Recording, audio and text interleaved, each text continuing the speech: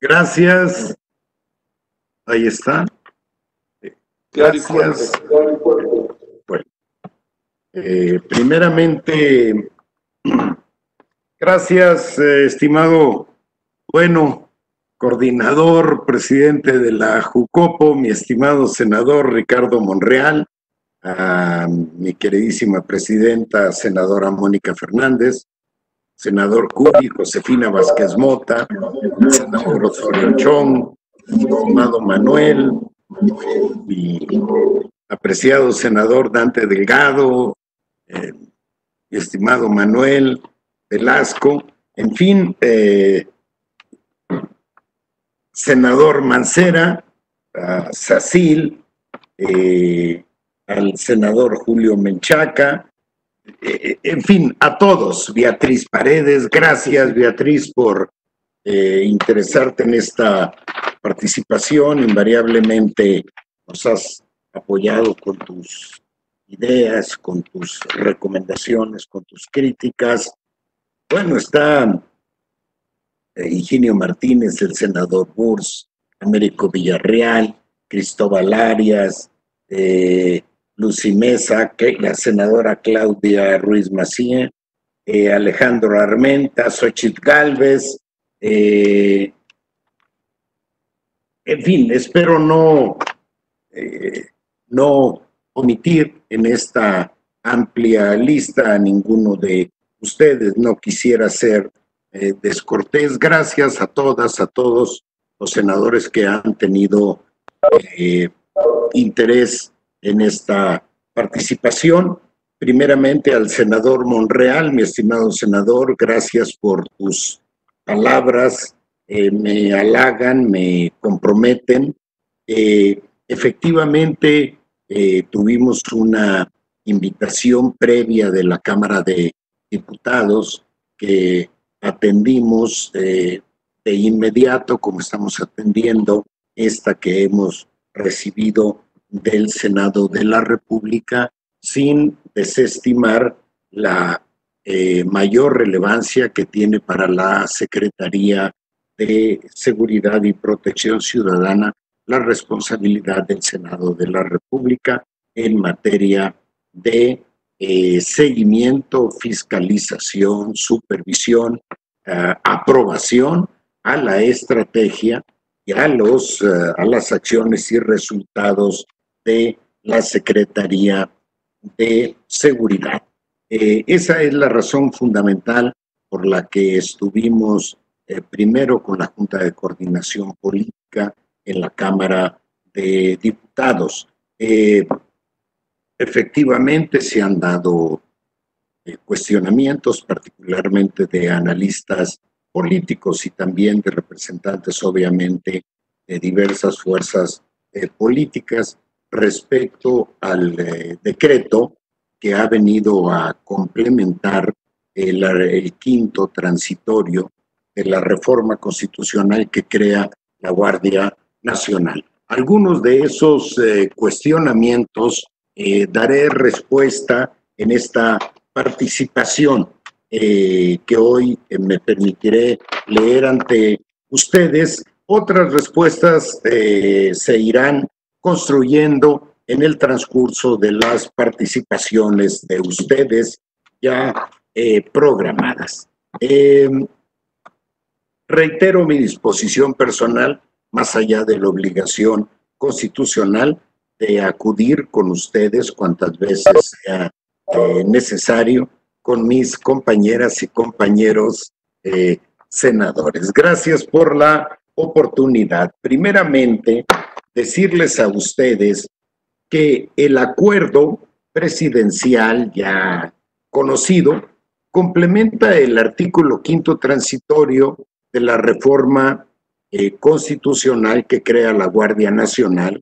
Recordar que fue aprobada por unanimidad el año pasado, tanto por el Congreso de la Unión como por las 32 legislaturas locales. El acuerdo, consecuentemente, no es un acto nuevo ni exclusivo del Ejecutivo Federal, sino un instrumento jurídico adicional que aterriza una eh, disposición constitucional para darle mayor eh, eh, funcionalidad.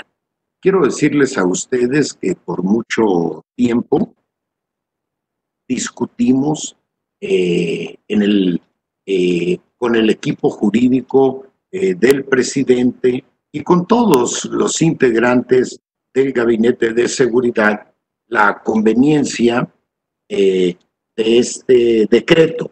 Eh, fue hasta que se acumularon las observaciones de diversos representantes del Poder Judicial respecto a la no capacidad jurídica del ejército para actuar como primer respondiente, que tomamos la decisión eh, de eh, publicar este decreto para darle mayor funcionalidad al marco jurídico que regula la participación de las Fuerzas Armadas en apoyo a las tareas seguridad pública.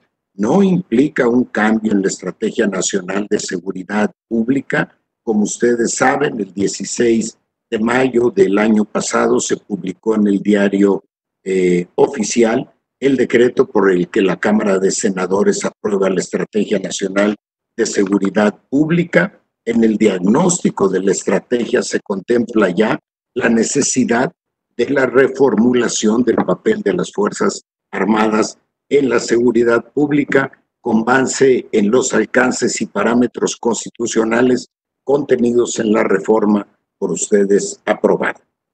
El acuerdo no implica darle más atribuciones al ejército en materia de seguridad pública. Al contrario, limita las facultades que de manera general le otorga el artículo quinto transitorio de la reforma, lo que de acuerdo con la Constitución implicaría todas aquellas labores de prevención, investigación y persecución de delitos así como la sanción de las infracciones administrativas. Esta limitación se refleja de manera clara al observar que el acuerdo, esto es muy importante, permite al ejército ejercer únicamente 12 de las facultades que tiene la Guardia Nacional en el artículo 9 de la ley reglamentaria de su creación. Es muy importante destacar todavía más que varias de esas doce, más que atribuciones, son obligaciones que regulan su actuación y algunas otras son atribuciones que pueden realizar únicamente en apoyo a otras autoridades. No me voy a detener en las doce, pero sí quiero señalar que, por ejemplo, la fracción nueve señala que es obligación informar a la persona al momento de su detención sobre sus derechos. Una más, poner a disposición de manera inmediata a detenidos y bienes en casos de aseguramientos. Efectuar las detenciones conforme al artículo 16 de la Constitución. Realizar el registro inmediato de la detención de las eh, personas. El acuerdo respeta el criterio de la Corte Interamericana de Derechos Humanos y no incluye facultades de investigación del delito. También deja al margen facultades delicadas que solo corresponden a la Guardia Nacional como operaciones encubiertas, intervención de comunicaciones privadas, recepción de denuncias, atención a víctimas, determinación de sanciones de tránsito, etcétera. Únicamente se le atribuyen facultades que complementan las capacidades operativas y el uso de la fuerza legítima en el combate a la delincuencia. Esta administración siempre ha sido transparente respecto al apoyo que están brindando las Fuerzas Armadas a la Guardia Nacional.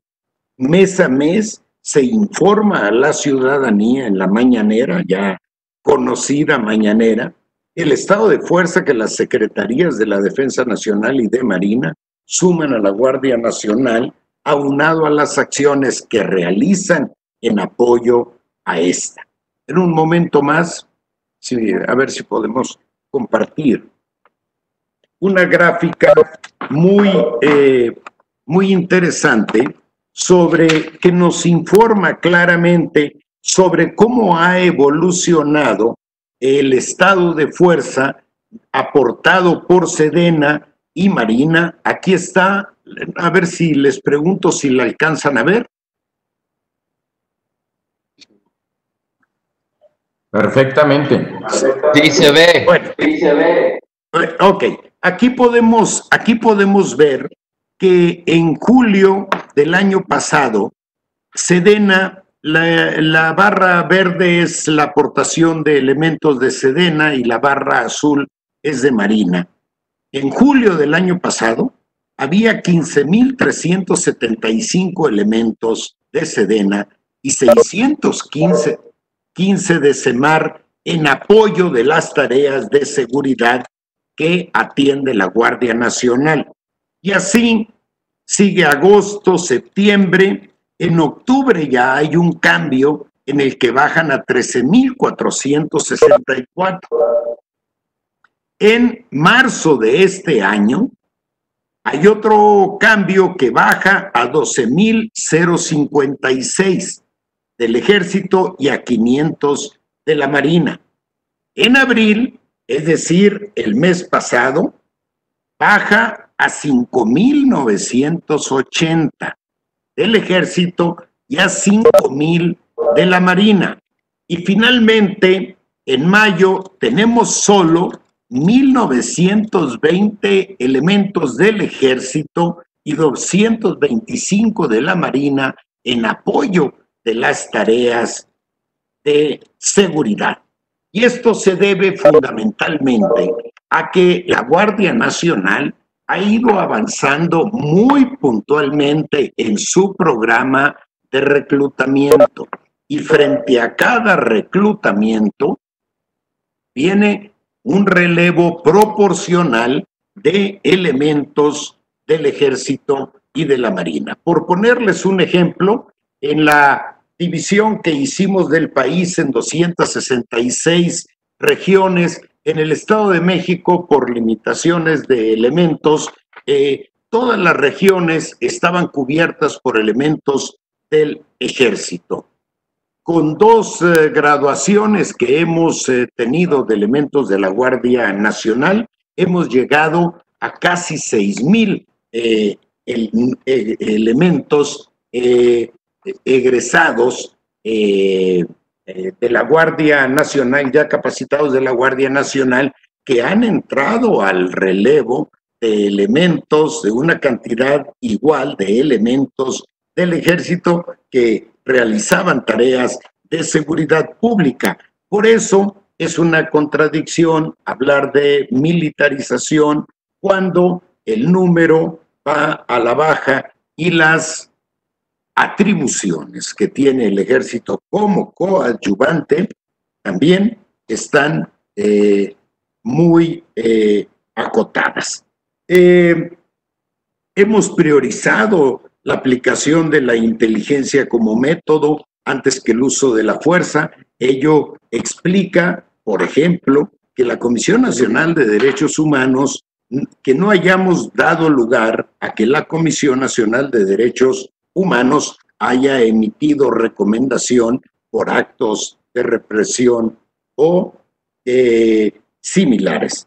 En tan solo un año, eh, la Guardia Nacional ha pasado por su creación constitucional, reglamentaria, organizacional, presupuestal y administrativa y cuenta ya con un despliegue de más de 90 mil elementos en todo el territorio nacional y su intenso trabajo empieza a dar frutos paulatinamente en unos rubros más de la incidencia criminal, más que en otros. Quiero decir, para quienes hemos tenido experiencias administrativas, eh, gestión presupuestal y organizacional, decirles que se trata de una hazaña burocrática histórica. No obstante, aún no se consolidan a plenitud sus capacidades operativas y su implementación en todo el territorio nacional. Comenzamos cubriendo 150 regiones, solo 150 de las 266. Este año vamos a terminar de cubrir 200 y el próximo año cubriremos las 266. Tenemos como meta eh, tener un despliegue de 150 mil elementos de la Guardia Nacional al concluir el 2021. Y adelanto, más que como meta a nivel todavía de idea, porque no hemos eh, cubierto todos los procesos presupuestales y demás, pero en una circunstancia ideal aspiramos a dejar a la Guardia Nacional con 200 mil elementos el 2024. El acuerdo aclara la posibilidad de que las Fuerzas Armadas actúen como primeros respondientes ante hechos de carácter delictivo de tal forma que sean ellos quienes llenen los informes de policía homologado cuando exista alguna intervención, instrumento que sirve de base para la resolución que toma el juez sobre el caso. Aquí me detengo un poquito en la lectura para recordar a ustedes que hace cosa de dos meses fue detenida una banda, un número muy importante de presuntos integrantes de la Unión Tepito. El operativo se realizó con fuerzas federales y eh, elementos de la Ciudad eh, de México en un, eh, atendiendo una orden de cateo en un domicilio en el que presuntamente sería la sede de la Unión eh, Tepito. Pues fueron detenidos 31 eh, presuntos delincuentes y fueron liberados al paso del tiempo 31. Este fracaso judicial derivó de las inconsistencias en la responsabilidad de quienes llenaron el informe policial homologado. Esa tarea no podía ser atendida por elementos del ejército antes de la publicación de este decreto. Ese fracaso judicial se dio, no obstante que en la sede eh, del eh, eh, domicilio capeado se encontraron 33 cráneos de seres humanos, de personas. Se encontraron una amplia gama de armas largas, cantidades muy importantes de droga. Para ninguno de los participantes tenía duda de que ahí había presuntas, de que ahí había responsabilidades. Sin embargo, derivado de las debilidades del informe policial homologado que se presentó ante el juez es que terminaron siendo liberados prácticamente todos, excepto uno. Otros han sido detenidos nuevamente y eh, con los cuidados de la presentación de un informe policial homologado eh, debidamente sustentado. Sobre esto se han capacitado a miles de elementos en el uso legítimo y proporcional de la fuerza, labores de primeros respondientes, así como en cadena de custodia y protección de los derechos humanos, que son elementos fundamentales que vamos a cuidar durante toda nuestra responsabilidad. Pero con independencia del cuidado y nuestra propia convicción está la formación institucional de todos los elementos de la Guardia Nacional y de los elementos del Ejército y la Marina que participan en apoyo de la seguridad pública en la observancia de todos estos eh, lineamientos. Además, el acuerdo obliga a que las detenciones que eventualmente realicen las Fuerzas Armadas se inscriban en, en el nuevo Registro Nacional de Detenciones este instrumento fue creado por iniciativa del Senado de la República y quiero decirles que no obstante la discreción con el que lo operamos, es uno de los grandes éxitos en el país en materia de seguridad y derechos humanos. Hoy cualquier persona que busca un detenido, a una detenida, puede acudir al Registro Nacional de Detenciones en lugar de atender o cubrir el el via crucis histórico para localizar a un detenido por alguno de los elementos de seguridad. Sobre este tema, desde noviembre de 2019, se han capacitado a más de 700 eh, personas de las Fuerzas Armadas para realizar los registros y se otorgaron las cuentas de usuario necesarias para que Sedena y Marina realicen directamente los registros. El acuerdo no significa un abandono a la construcción de instituciones civiles, es todo lo contrario.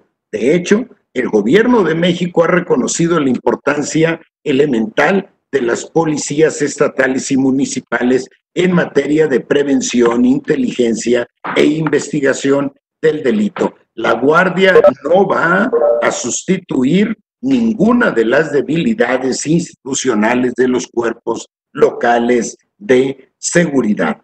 Por ello, no es gratuito que hayamos impulsado el nuevo modelo nacional de policía y justicia cívica, que representa por mucho la reforma policial más importante en la historia de México. Y aquí hay varios elementos. Tiene que ver con el compromiso, con la convicción, con el liderazgo de las autoridades locales, pero también con la disponibilidad presupuestal. ¿Qué hemos hecho? Hay tres fondos, eh, FAS y Fortasec, que se distribuyen sobre la base de un acuerdo entre las y los gobernadores. Ese fondo alcanza los 11 mil, poquito más de 11 mil millones de pesos completamente insuficiente. Pero está el Fortamun. El Fortamun es un fondo del que por ley se destina, aprobado por la Cámara de Diputados, solo el 20% de los recursos a cuestiones de seguridad pública. Ahora, con el apoyo unánime de las y los gobernadores y las y los presidentes municipales, se ha incrementado por acuerdo político del 20 al 50% de los fondos del Fortamun eh, para tareas de seguridad pública, pero ya no en general como históricamente había sucedido, sino exclusivamente para el mejoramiento de las policías. Anteriormente entraban ahí observaciones documentadas de la Auditoría Superior de la Federación hasta el patrocinio de graduaciones de preparatorianos. Ahora eso ya no es posible. Es solo incremento de sueldos, equipamiento y dos o tres rubros adicionales que tienen que ver con el mejoramiento de la condición de los policías. Quiero decirles a ustedes que no obstante, como ven que tenemos muchas razones, muchos argumentos, no quisimos entrar al debate público sobre la militarización, toda vez que se que acordamos con ustedes y particularmente con las y los gobernadores preservar eh, las cuestiones de la seguridad pública como un espacio de neutralidad política. Hemos insistido mucho en ello y es gracias a, esa, a, a ese acuerdo respetado hasta hoy por todos los involucrados en la responsabilidad de mejorar la seguridad pública que no le hemos agregado a esta tarea las dificultades inherentes a las diferencias políticas e ideológicas, pero con todo gusto comparecemos ante ustedes para dar las explicaciones que estimen eh, necesarias. Las circunstancias que vive el país eh, demandan que el Estado mexicano haga uso de todos los recursos con que cuenta para brindar seguridad a la nación, a los ciudadanos y a su patrimonio, al fin, a fin de alcanzar la paz y seguridad que todos anhelamos. Este objetivo no sería posible si no contáramos con el extraordinario apoyo de las Fuerzas Armadas. ¿Por qué el acuerdo tardó tanto en emitirse? Porque veníamos con una inercia de colaboración de las Fuerzas Armadas y en aquel momento asumimos todos, creo que los incluyo, sin equivocarme, que el quinto transitorio regularizaba la colaboración, la coadyuvancia, coadyuvancia de las Fuerzas Armadas. Fue la necesidad de fortalecer su capacidad jurídica frente al eh, Poder Judicial para actuar en contra de presuntos eh, criminales y eh, fundamentalmente para cumplir tareas de primer respondiente. Bueno, el tema de los resultados, yo quisiera presentarles a ustedes las últimas, si las tenemos a la mano, de manera muy rápida. No quiero decir a ustedes que eh, tengamos eh, ni razones para echar las campanas al vuelo, pero Sí, la anterior, por favor, si la tenemos, la gráfica anterior, y mientras la ponen, por ejemplo, el robo de vehículos de enero a abril de este año disminuyó 20.3%. El robo a transeúntes disminuyó 24.6%.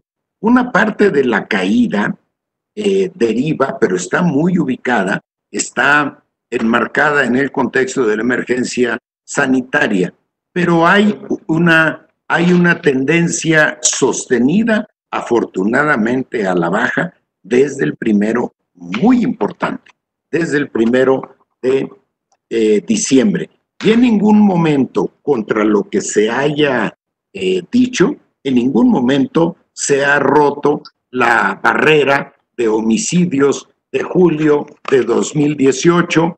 Por ejemplo, a ver, aquí está, si pueden ver, eh, en el cuadro inferior izquierdo tenemos robo a transporte público, 44%, menos robo a casas habitación, 18%, la que sigue rápido, por favor. Eh, robo a negocios bajó 20.3%, robo de ganado 27.7%, eh, robo en transporte público individual bajó 25.9, robo a transportistas 34.3%. Por ejemplo, hay mucho debate en el robo a transportistas. La verdad es que todos lo estamos trabajando con las organizaciones del sector privado que pueden avalar con independencia de que estamos trabajando cifras exclusivamente del secretariado, pueden o de hecho han avalado públicamente de manera invariable esta baja. Aquí, por ejemplo, secuestro, ustedes pueden ver la línea roja que es diciembre del 2018. Eh, eh, y aquí vemos una baja muy notoria, afortunadamente. Eh, puedo decir que en general todos estos resultados trascienden con mucho el periodo de la pandemia. La que sigue, por favor, rápido, rápido. Aquí está la incidencia delictiva nacional del fuero federal. ustedes pueden ver a la izquierda de la línea roja el comportamiento histórico y a la derecha de la línea roja el periodo del presidente López Obrador. Efectivamente, en el mes de abril viene una caída pronunciada, enmarcada en el contexto de la emergencia sanitaria, pero el resto es una baja eh, consistente. Alzas y bajas, pero finalmente a la baja.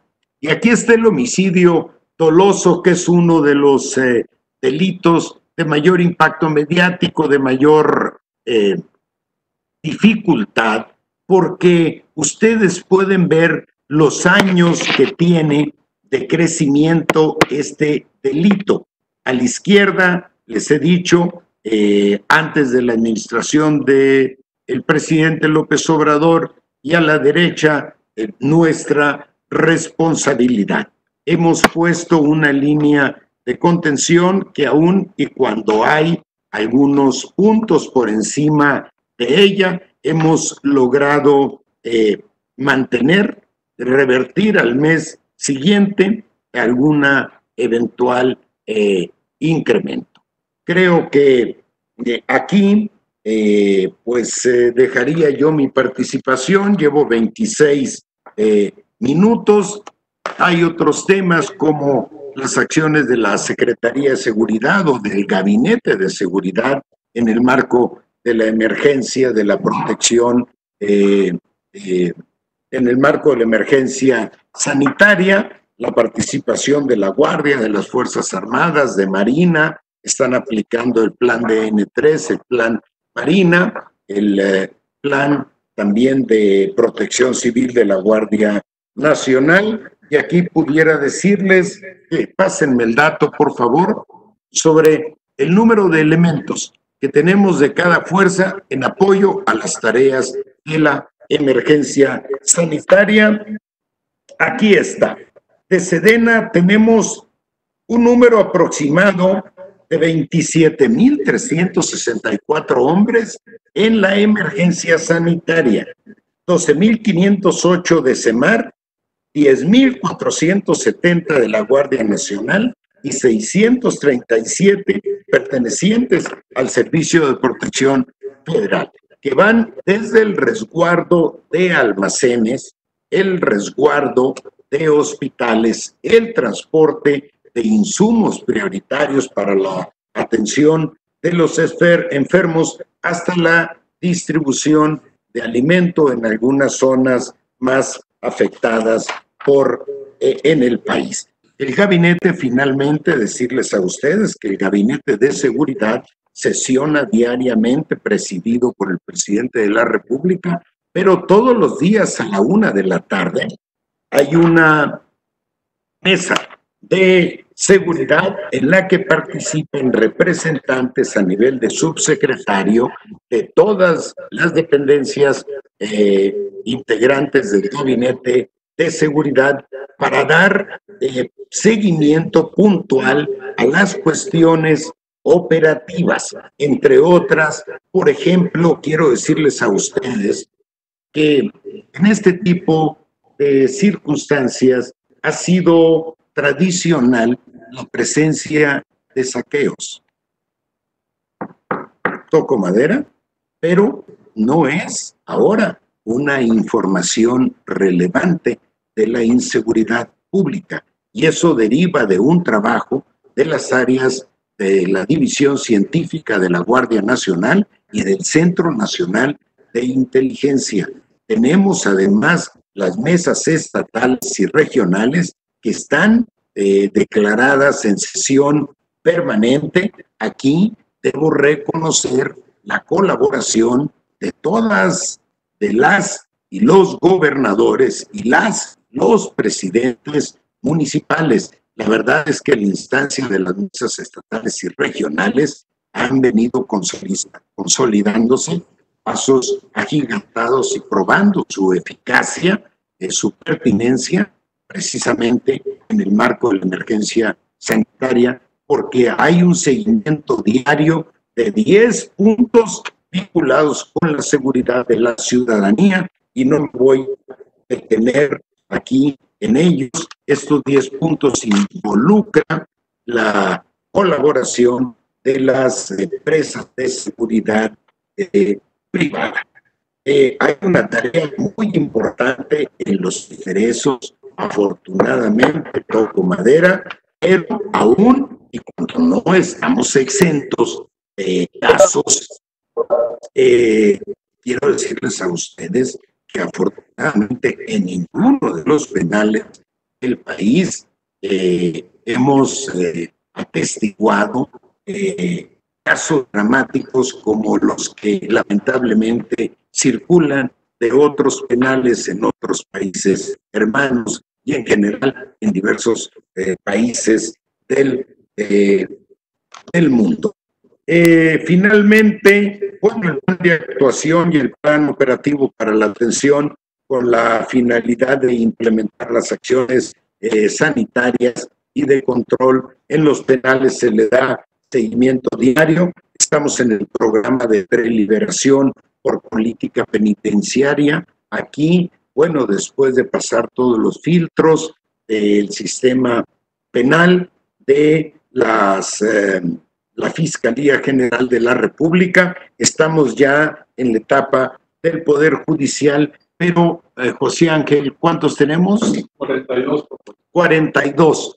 De un número más amplio, por diversas razones, se han venido reduciendo y son 42, que son las personas de mayor edad y con riesgos eh, realmente graves, críticos a, la, a su seguridad ante una eventual eh, contaminación, el, reforzamiento de los operativos, y con esto concluyo, con el sector empresarial. Les quiero decir a ustedes que tenemos eh, mesas permanentes con la CANAPAT, la CANACAR, la CAMEINTARM, la CONATRAM y la AMF, Asociación Mexicana de Ferrocarriles. Se instaló finalmente una mesa de seguridad con el sector eh, minero y estamos en el seguimiento diario de saqueos, toma de casetas, cierre de carreteras y robos. Agradezco a ustedes su atención y me fui unos dos minutitos adelante de lo autorizado por el señor presidente de la Junta de Coordinación Política. Gracias a todos ustedes por